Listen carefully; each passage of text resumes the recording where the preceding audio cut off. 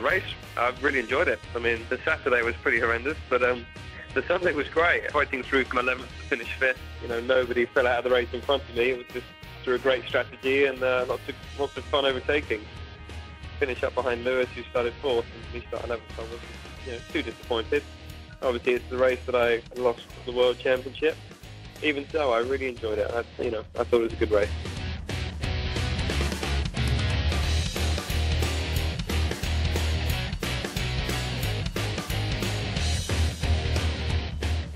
I think you would because the team is important to you, and that includes your teammates. But I think it should always come down to the driver's decision to uh, help his teammate.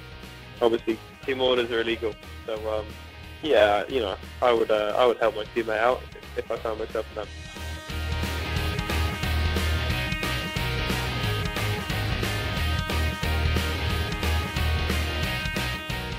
I'll miss the advantage because that's yes, but I won't miss my arm being tied after about three laps pushing on the F duct. It was a great idea by the team, and I think they did a fantastic job of bringing it to the car so early on in the season and getting it working so early in the season. It really helped our performances this year. But it's gone. It's the same for everyone. You know, everyone's got the F duct now, so you know we'll get over it. And We'll just have to work on something else.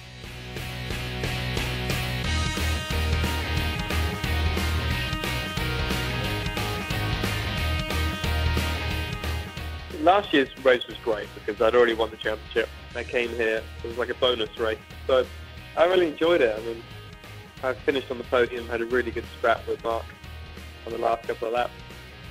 You know, I think they've put on a great show here. I mean, the facilities are fantastic here in Abu Dhabi, the best facilities in Formula One.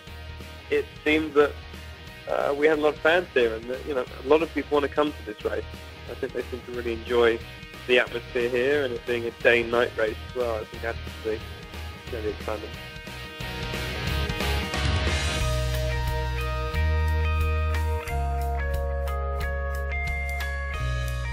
The fun sections here and you can really take a lot of curves. The curves are quite flat.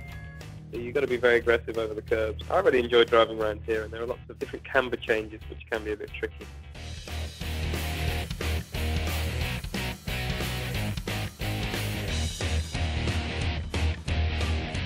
Over the winter I'll be going to Australia for a week doing a triathlon with my girlfriend and then Christmas in the UK and then flying away somewhere hot for New Year's for a couple of weeks. I'm looking forward to that.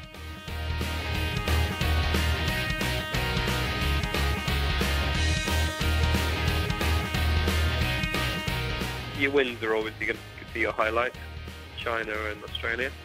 But I've also had some fun races like Silverstone was a lot of fun, fighting through the field. Brazil was a lot of fun, I've had a few races I've really, really enjoyed. Canada as well. So there's been a lot of fun races this year, but obviously the wins are, are biggies, and that's what I want to get more of next year.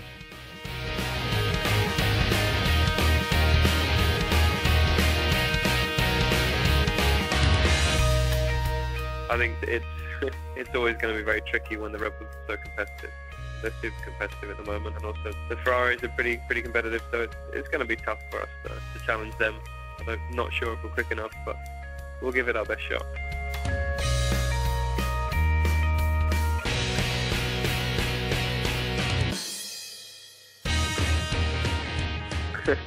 I have owned two already.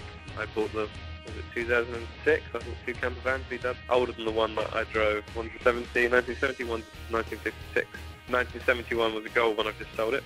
And the other one is a van, so it's got no windows in the back, but it's a got a big engine in it. It's, a, it's an original VW engine, old school engine, but it's been tuned. But instead of having 30 horsepower, it's got 200 horsepower. It's got some Fuchs Porsche wheels, lower suspension. It's a great bit of kit.